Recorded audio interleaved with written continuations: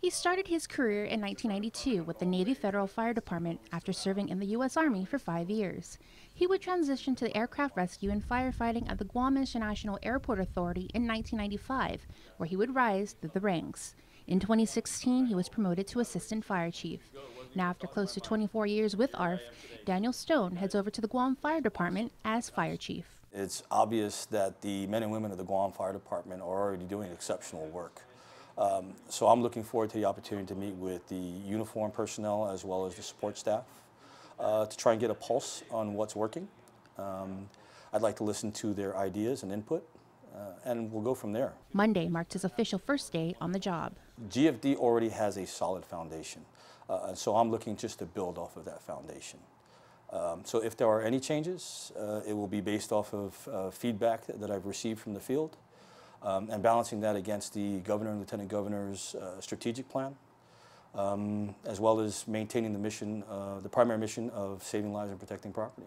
One of the first orders of business for the newly appointed fire chief is to meet with the deputy and assistant chiefs. So that I can get spun up on the various uh, missions and capabilities of each of the respective bureaus. Along with fire service, Stone brings a wealth of knowledge and experience that includes a military and law enforcement background. In each of the uniforms I've been blessed to wear, um, they provided me the structure and discipline um, that has helped me immensely in achieving uh, each of the milestones in my life.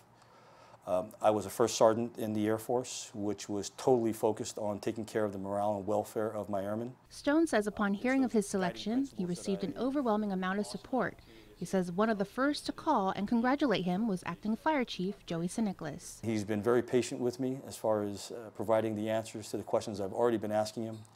Um, he's provided me with the information uh, that is necessary for me to uh, properly assume my new responsibilities. Items on his priority list?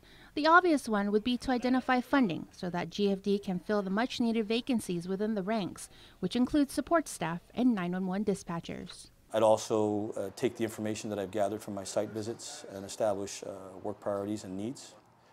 Um, I would probably also want to find out uh, what the, uh, if any, uh, training, vehicle, equipment uh, gaps are so that we can work to, to, close those gaps.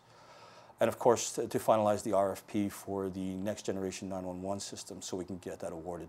As he makes his way to all the stations to formally introduce himself, he does have a message to all those within GFD. Thank you for your commitment and dedication to your chosen profession. Thank you to your families for their continued support. Uh, I look forward to meeting each and every one of you and working together uh, to continue to provide the quality service uh, to the people of Guam. Reporting for Guam's News Network, I'm Jonah Charfauros.